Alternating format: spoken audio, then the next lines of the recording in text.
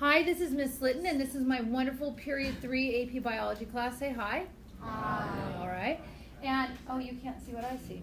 And we are discussing Chapter 10, and you're going to remember Chapter 11 terms are due next class, yes? How many are there? Two? Sweet. Um, 17, okay. Um, we're talking about myomyomyosis and sexual reproduction. And there's a purpose for doing meiosis. The purpose, if, I, if you were going to put it in a nutshell, remember we talked about essays, trying to be concise in your words and to the point. Why are you doing meiosis? What is the purpose behind meiosis? What would you say? Reproduce. Okay, I'm looking more, yes. Genetic variation. Okay, one reason that you would go through the process of meiosis is to get some variation because in the process of doing meiosis, you're going to get some variability in your genes. Exactly. Okay? And you have to get the chromosome number down to what? Half. Right? If you're sexually reproducing, you can only send half of your chromosomes in that sperm and half of your chromosomes in your egg. Because when that sperm fertilizes that egg, you're going to form a new combination of traits, of alleles, of genes, a new recombination, and that will be diploid. So you have a haploid plus a haploid makes a diploid. When we did my arms, my legs, my ptosis, this is for growth and reproduction. We're, or sorry, growth and repair. So you want to take clones of your cells and make more cells that are exactly like it. If they are diploid, you're going to make more diploid cells. If those particular cells are haploid, you're going to make more what? Haploid cells. It's same, same. But myomyomyosis oh always starts with a diploid cell. And then you're going to make haploid cells as a result. So instead of doing one division, we have to do how many? Two. And we will refer to them as meiosis 1 and meiosis 2. Okay, and we're going to be learning about that process, where the variability comes from, and when it goes bad. Okay, so those are the different areas. So here, the mom's body is diploid, yes? And the baby's body is diploid. But what did the mom make in her ovaries? Eggs. Are her ovaries haploid or diploid? Haploid. Her ovaries Oh, are oh, diploid. The only haploid cells you and I have is either our sperm or our what? Egg. Now plants, angiosperms, flowering plants, if you look at those plants out there, you could think of them as having ovaries that are haploid. They actually have haploid structures within them. It's called alternation of generations. Okay? And they have a portion of them, a very small portion. In a um, female, you would have seven cells that are haploid cells. Okay? And within there, one of those cells is an egg. And that will get fertilized by plant sperm, which you know as pollen okay? And it'll land on the sticky stigma of that flowering plant and grow down in there and meet up with the egg and form a diploid zygote within the flower. But they have a whole region of their body that is haploid. If you go to bryophytes or maybe some seaweed, some other plants, they have a totally different generation that is haploid. So they have their diploid body, they undergo myomyomyosis, and they make what's called a spore. The spore is haploid. The spore grows up into a whole haploid structure. You can't even tell the difference. You could be swimming next to some seaweed that's diploid. You could be swimming next to some seaweed that's haploid. That haploid structure will do mitosis to make haploid gametes, ghost child, that will come in together, okay, and then make a diploid plant. Clearly two different organisms living separately alternation of generations. Okay, and we'll talk about that. Those are different kinds of life cycles. Um, referring to haploid and diploid structures, blue, this is your diagram to talk about this asymmetrical baby. Go ahead, blue, talk about it.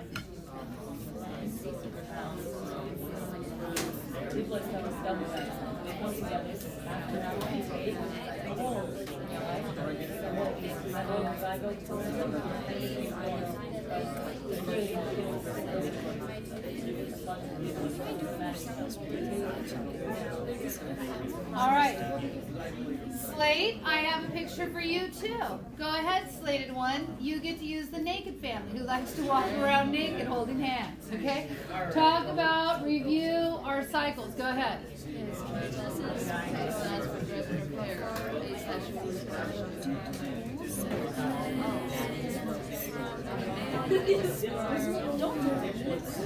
They have a very large child. They have to work very hard to feed it.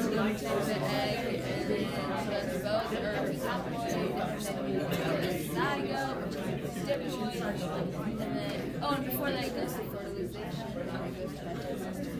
All right. Now, how many chromosomes does naked mother have? She has 46. Okay? Naked mama has 46 chromosomes. Half of those came from her mom. So, how many came from her mom?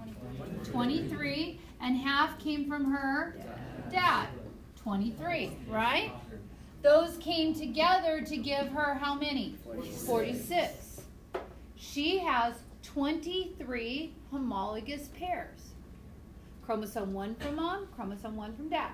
Chromosome 2 from mom, chromosome 2 from dad. Yes?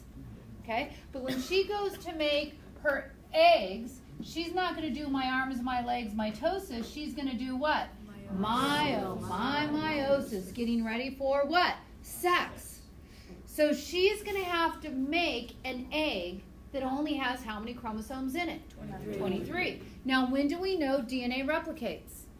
Uh, As stage of what? Interphase. Thank you. So she had her 46 chromosomes, and all 46 made a copy of themselves, right? Okay. In meiosis one, what she's going to do is mom chromosome and dad chromosome are going to hook up. And when she does meiosis one, she's going to separate all the homologous pairs from each other. All the mom and dad chromosomes will be separated. Maybe one cell gets more mom chromosomes, maybe another cell gets more dad chromosomes. That's some of the variability that we were talking about. You never know what you're going to get in that. Okay? Then in meiosis 2, she's going to separate the sister chromatids, which is just like mitosis, right? When you separate the sister chromatids. So she does myomymeiosis. This is only going to have 23 chromosomes. The sperm, only 23. Then back in baby, we're back to a diploid cell of 46. He will only undergo mitosis until he gets ready to make his sperm, and then he will undergo what? Meiosis. All right? So, when we watch this baby grow, how will we watch this baby grow? You're yourself. Getting ready for your quiz later. Yay.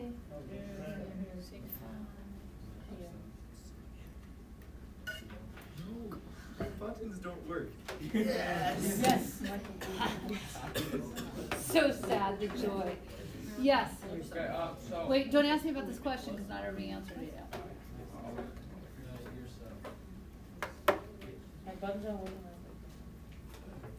To me, he looks like this.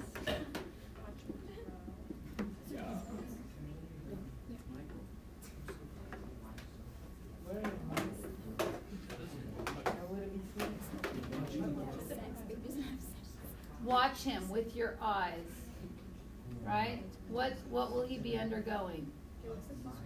Today. Ben, we literally just did it.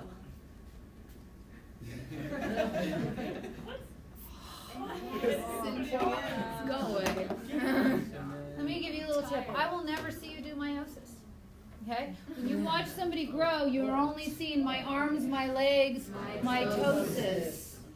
Okay? Go. What's your question? Um, so, wouldn't like grow babies like while they're still like in embryos do meiosis? Yes. Yeah. Wow. That, that's why I did a li- it looked like a little boy to me. Yeah. Before before we are born, all ladies in this room, you underwent meiosis 1 in all of your eggs. We only undergo meiosis 2 if we ovulate and an egg is in the oviduct and a member of the fallopian swim team shows up, some sperm come a knocking, okay? And if they're like, if we're like, oh, you were serious about that, okay. Then we will undergo meiosis two at that point, um, and then um, that egg will get fertilized. And we'll talk about the process of how that goes, because then you would think, oh, there are two eggs there. No, they're not. Okay, there's an egg in a polar body, and we'll learn about that later at the end. Okay, um, but men, if I say sperm, you just made 500 of them. Sperm, you made 500 more. You're constantly making more sperm. Sperm, 500. Okay, leave them alone; they can stay right there. Okay, um, make you go blind. Um, but but um, ladies, we got at least meiosis one done before we were born. All right.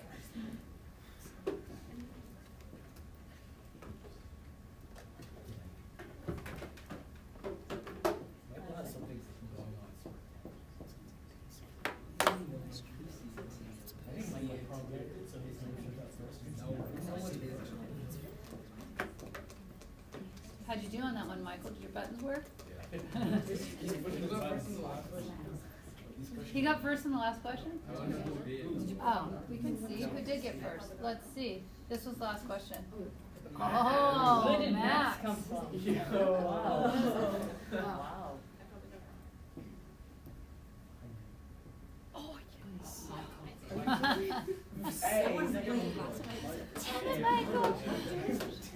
Okay.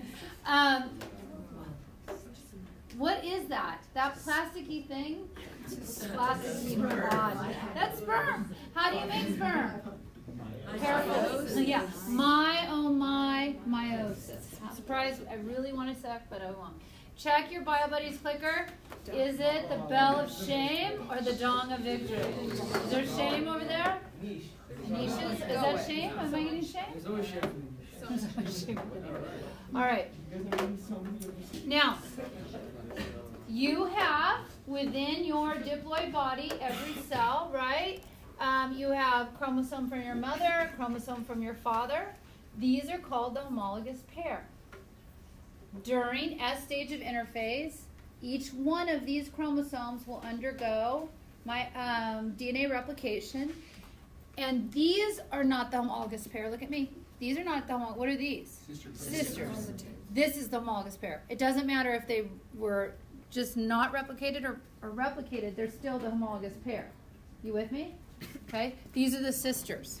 So, um, the cis, uh, homologous pairs are the same size, the same shape, and they code for the same characteristics. This one right here might say that you are to have blue eyes, and this one right here might say you have brown eyes, right? But it's both about eye color. You all right with that? Okay. So, um, when we look at our 23 homologous pairs, okay, here's one from each. Actually, I don't want to explain this one. I want, did I put something down here? Whose turn is it, blue or slate? Blue. Blue, go. You explain it, not me. You go.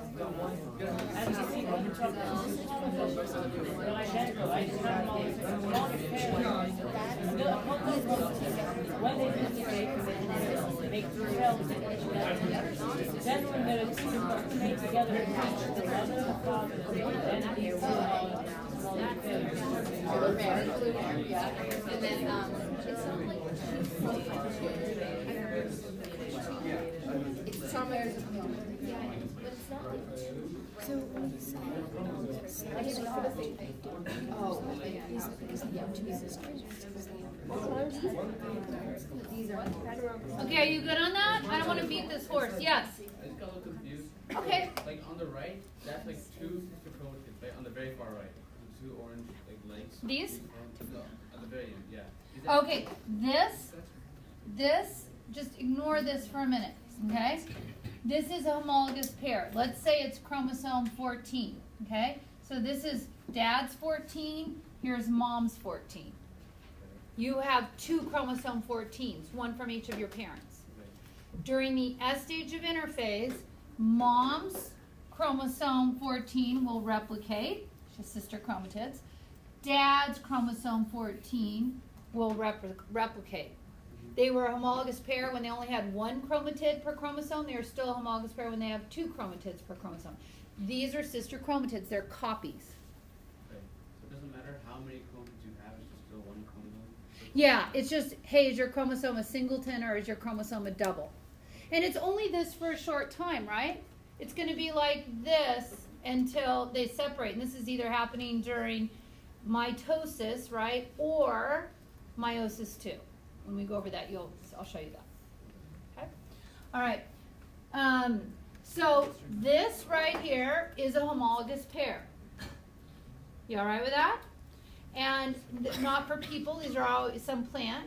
This allele right here codes for purple flowers, and this allele codes for white flowers. But this homologous pair is the same size, the same shape. They code for the same characteristics. They just have a variation of a gene is called an allele. A variation on a gene is called an allele.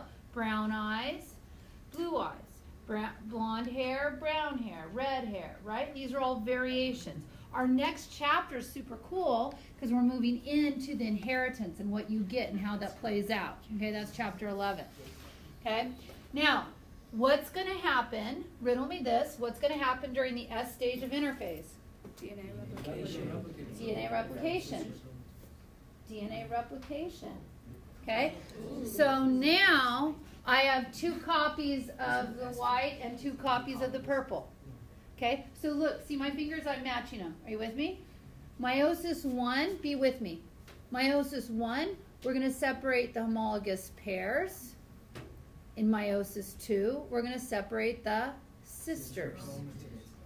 Okay? So first, mom and dad chromosomes are separated. That's the divorce. Then we rip apart the rest of the family. Then the sisters. Then the children. Parents, children. Think of it that way, okay? In a hideous terms. All right? Now, cool, great. I never knew a divorce could be so fun. All right, now, um, next.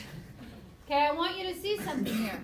On this, these are both white flowers and these are both purple flowers, right? Let's say on this same chromosome, this is long stem, then this would be what? Long stem. And let's just say over here, this one is short stem and this one is short stem. Okay. What's the first stage we go into when we do nuclear division? What's always the first stage? Prophase. Prophase. This is going to be referred to as prophase 1. Because we're going to do prophase 1, metaphase 1, anaphase 1, telophase 1, and then what? Cytokinesis. Cytokinesis, and a little intermission called interkinesis. And then we're going to do prophase 2, what? Metaphase 2, anaphase 2. What's always going to happen in an anaphase, no matter what? Something's going to get separated. What's always going to happen in a metaphase? Something's in the middle, right? That part doesn't change. But what's going to happen in when we do myomymeiosis is in prophase 1, the parents get together nice and tight because we want to organize that. We want one with one, two with two, three with three because we don't want to screw up, right? So they line up with their dance partner. Okay? They snuggle in tight, and the chromatids, these are sister chromatids, right? They literally intertangle with one another. And so much so they can either disconnect and exchange information. That's called crossing over. It would be like if you went and made out with your boyfriend and girlfriend, and while you were making out, you exchanged pieces of your leg. So when you got home, your parents like, oh, there's evidence that you were making out. I can see you have your boyfriend's leg on. Okay? Do you see what It is different. Is it still a leg? Yeah. Yes. Is it a different leg? Yes. This is how we get what? Variations. This is one of the hallmark ways to get variations. So here we see that normally white flowers travel with long stems, and over here purple flowers travel with short stems. If there's evidence of crossing over, the evidence would be a white flower with a short stem. Raise your hand if you have dark colored hair and dark eyes. Raise your hand. Keep them high. Look at us. Of course, AP. Okay, now. okay. Okay. Dark colored hair, dark eyes. Now, raise your hand if you have light colored hair. Not just you. And that's a recessive trait.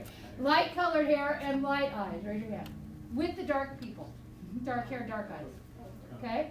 Now look how much of us in the room, hair color and eye color travels together. Now put your hand down. What if you have dark hair?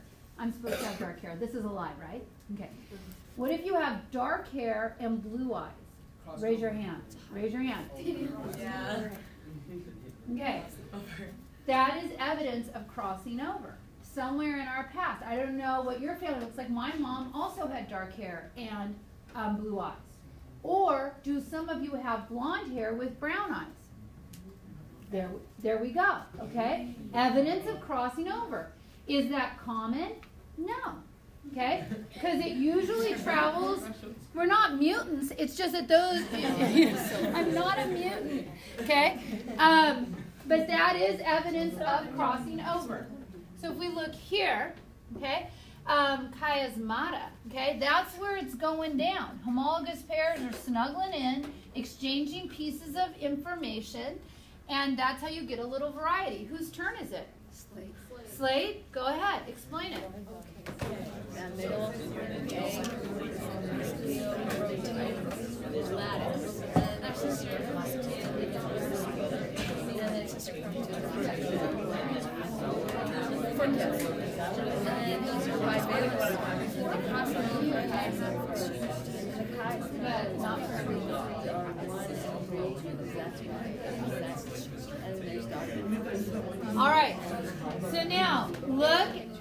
look at your notes.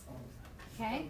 So overview. Number one, DNA replicates as in mitosis. Homologous pairs. On your background, cells undergoing myomymeiosis are diploid. You have two copies of each chromosome, one from both what? Parents. Alleles are alternate forms of a gene Oh, alternate forms of a gene. Mother's chromosome could say blue eyes, father could say what? Brown. Okay, when they do, there's a, several words all referring to the same thing. It all occurs during prophase one. Okay, you see the synaptonemal complex, you see tetrad, look down a little bit farther, you'll see chiasmata later in the notes, you see bivalent. It's all referring to when, and this is how I remember it, they synap together in synapses. And this is referred to as a tetrad or a bivalent. That's when you're going to get that crossing over occurring. Um, so, um, little letter I process called synapsis. S Y N A P S I S. That bivalent is two chromosomes in close association. It remains this way through the first two stages of meiosis one. Tell me what are gonna what are the names of the first two stages of meiosis one?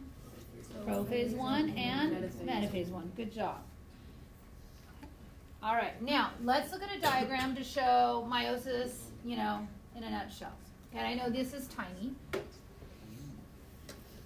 Okay, how many chromosomes are in this cell? Four. If we were doing mitosis, how many daughter cells would we make? How many would we make? Oh my gosh, you had a whole chapter on it. You have a quiz and a little bit on it. How many cells would you make if you did mitosis? Two. Okay, if it started out with four chromosomes, how many chromosomes would be in each daughter cell? Four or two. It's hard because two and four, and you're getting the numbers. Let's let's try it a different way. Okay. What if I had a cell that had ten chromosomes in it? Ten. Okay. Okay. When I did mitosis, how many cells would I end up at the end? Two cells. How many chromosomes would be in each? Ten. Mitosis. My arms, my legs, mitosis. Clone cells. Clones. Whatever you start out, out with, all of them replic- replicate, all of them separate. If I start out with 20 chromosomes in the cell, I will make two cells, each with 20 chromosomes. If I start out with 48, I will make two cells, each with 48.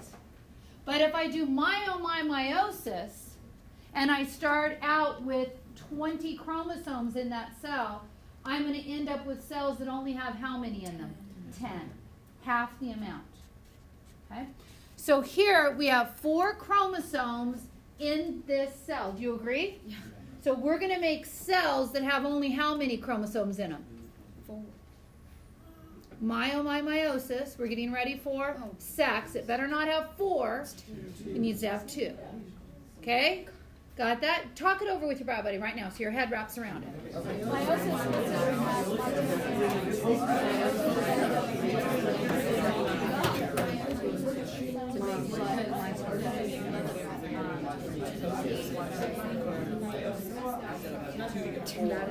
Okay, now, so all four of these chromosomes are going to replicate. Replicate when? When are they going to replicate? As stage of? Thank you. Okay. Now they've all replicated, but notice they've lined up with their dance partner. How many homologous pairs? Whisper it to your bio buddy. How many homologous pairs are in the cell? Whisper it to your bio buddy. Now show me with your fingers. There's the little pair and the big pair. Do you see it? In meiosis one, we need to separate each of those pairs. Then we'll have two cells. Then each of those cells will have to do meiosis two, and we will separate the sisters. Okay? So now I just got through doing meiosis one. Now I have how many cells? Two. I only have one little one in it. It's doubled. It is doubled, but I only have one little chromosome and I have one big. One little, one big. One got the big red, one got the big blue. We didn't know who was going to get what depending on how they lined up. Look how they lined up. What if both blues had lined up on the same side? Both blues would have. Both blues would have been over here and both reds would have gone over here. So there would only been red chromosomes here when they did the second myo, right? And only blue over here. This is part of how you get what? Variation. Variation. So now we know two ways we get variation, right? Due to crossing over. And this is called independent assortment. They can line up however they want. What do you think? How many pairs do you have? 23 homologous pairs. What do you think the odds of, of all your dads in you when you're either making your kinds of gametes, that all your dad's chromosomes lined up right here and all your mom's chromosomes lined up right here?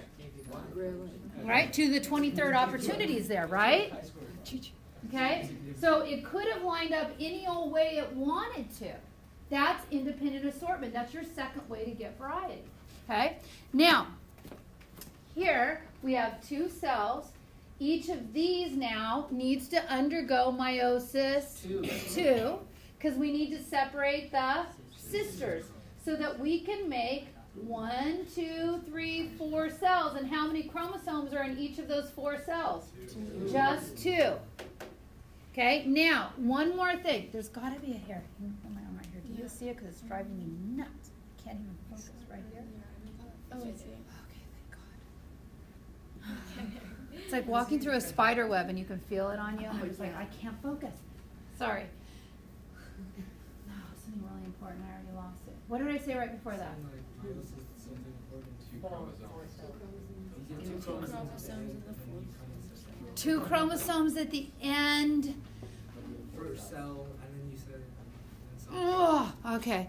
I'll, I'll think of it as I go through it. Okay, so on your on your two divisions, meiosis one, meiosis two, your anaphase is always going to be about a way. And here, this is if remember I told you on your essays, if you can be succinct and tell me exactly what's going on. The big deal in meiosis one, it, oh, I know what it is, is that the homologous pairs separate during your anaphase, and in meiosis two, what's going to separate? Sister chromatids. Now, this is what I wanted to say. A cell is considered haploid once you separate the homologous pairs. A cell is considered haploid once you once you separate the homologous pairs. So these two cells right here, okay, that is considered a haploid cell, and that is considered a haploid cell because it doesn't have a stance partner. Now, does it still have two copies of that chromosome right in there? Yes, but it doesn't have its partner. Okay? So these are officially haploid after meiosis one. Okay, now go to your notes. Okay? Two divisions ultimately generates how many haploid cells? Four. Right? Meiosis one separates what? What are you putting right there? Smallest pairs of chromosomes. Okay? Meiosis two occurs in each cell created by meiosis one. It separates the sister chromatids. Good separates the sister chromatids. Now, what is the fate of these four cells? For animals, all of these will be, let's say if this is a male, they will all be sperm, right? These will all be gametes that are haploid. So when you see fate of daughter cells, gamete, haploid sex cells of animals.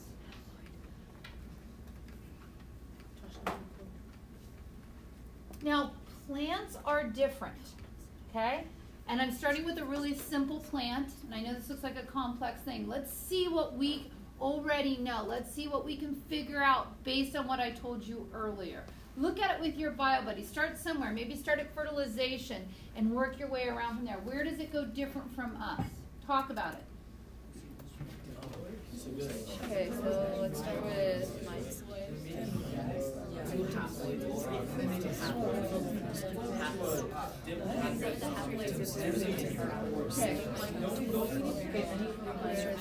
produce, yeah, male and female, and you get reproduction. You don't do that.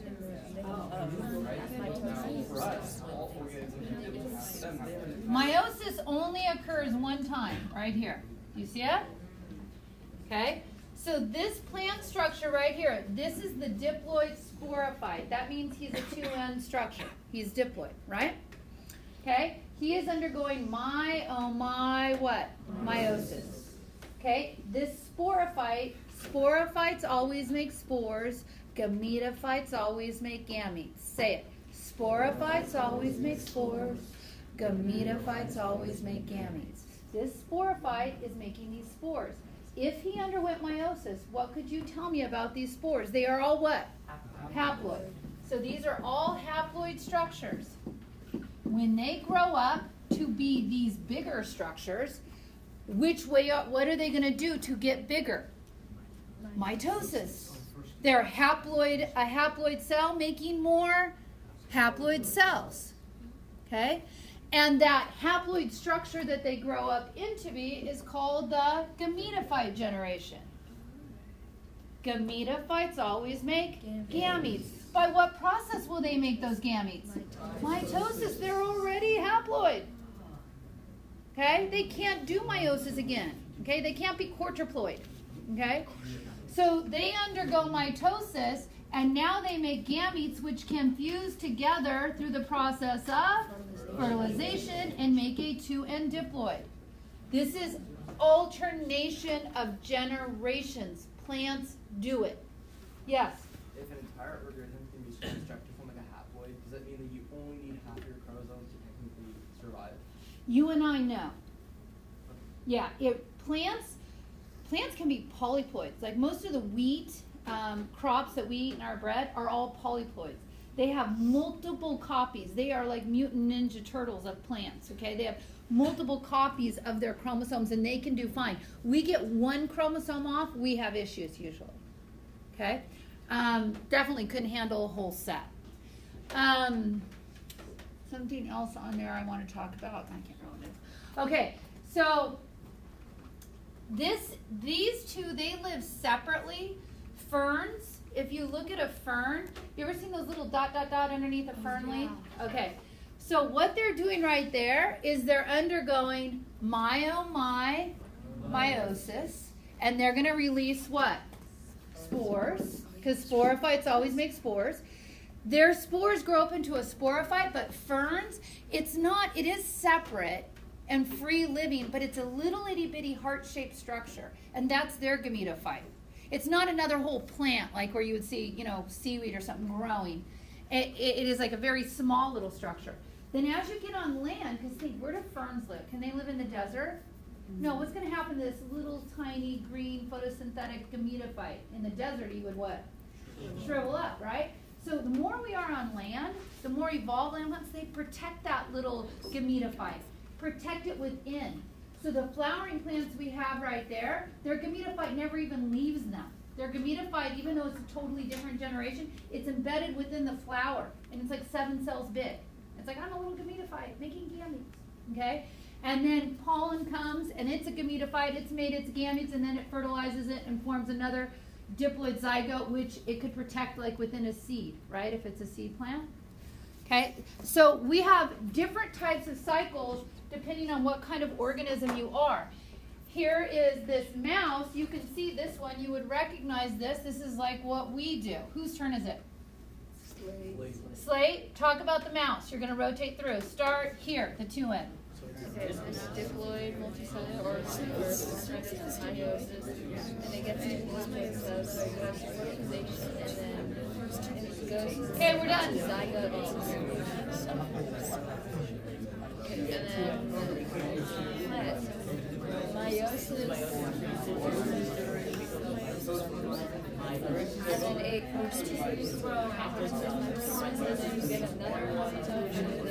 Okay, so, and we're gonna revisit this at the, again at the end, but you have this alternate generation fungi, which I don't even have up here. If you go to the grocery store and buy some fungi to put in, you know, mushrooms, to put in your spaghetti, all that structure you're seeing, it's all haploid.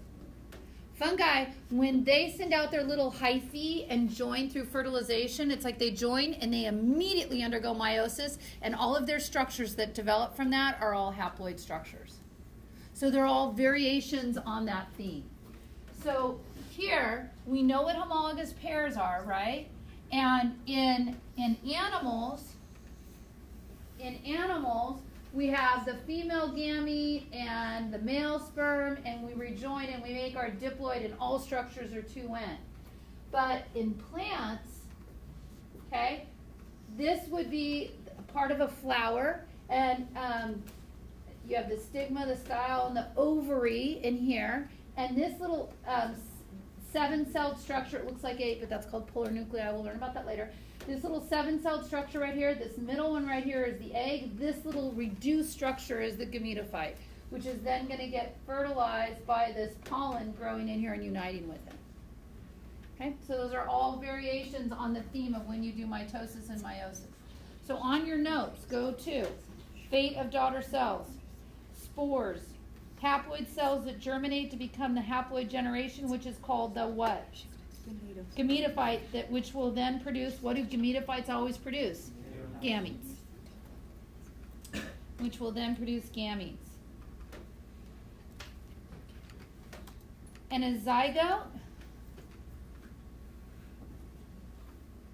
Okay, a zygote is a diploid somatic cell formed from the union of two gametes. And in that zygote, like in you, tell your bio buddy right now, who do you look more like? Your mom, your dad, a grandma, an uncle, an aunt?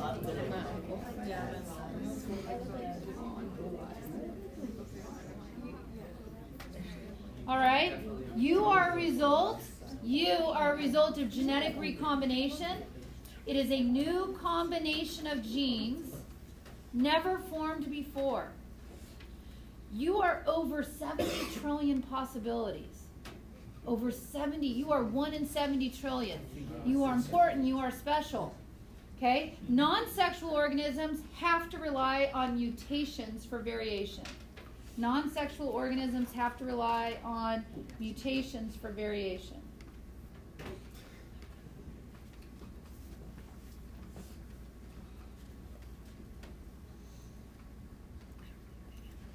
Okay. And then I, you want me to break this into segments, those of you that are watching? This period one would say stop right there and put a new section on. Yes? Okay, all right. So make good choices. That's all I have to say.